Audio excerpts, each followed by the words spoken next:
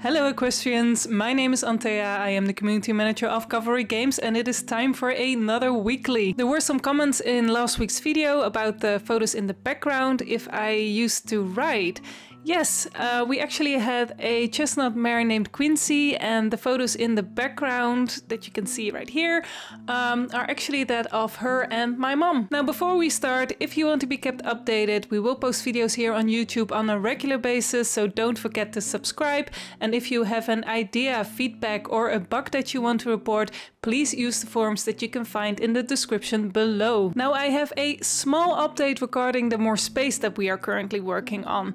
Uh, you were all wondering what kind of shape it would take, like a pasture, a paddock or stables. I can now say for sure that it is going to be more stable slots, but in a slightly different way than upgrading the stable. We do think that pastures would be a great addition to the game, so that is certainly something for in the future. Now the holiday update will be here this week and I promised you last week that I would talk a little bit more about that. So Let's do that! There will of course be snow and some nice holiday decorations, but we have a few more things for you. So Sandy has been feeling the holiday spirit for quite a while now and has created some beautiful Christmas themed items.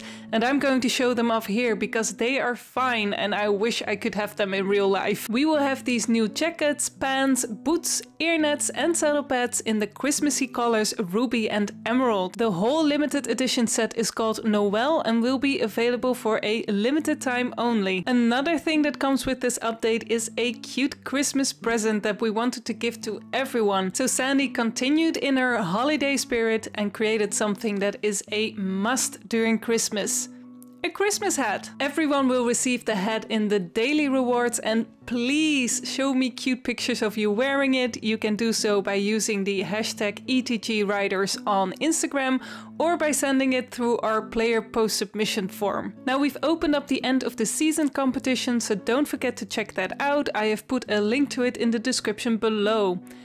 Time for the community highlights. I want to start by showing the submission from Lila Rose 1.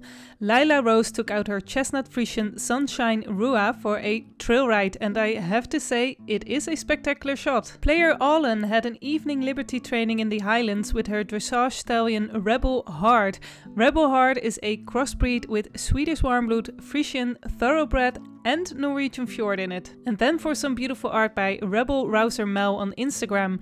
Rebel Rouser Mel drew their stunning Friesian named Onyx. I adore how flowy the mane look, very nicely done. If you have created any ETG related art, we would love to feature you. You can send it in through the player post submission form or use the hashtag ETGart on Instagram. Just a heads up, the weekly of next week will not be published on Monday, but on Wednesday the 7th of December, because that's when I will announce the end of the season competition winners. Okay, that's it for today. If you haven't already, don't forget to subscribe and have a wonderful week. Bye!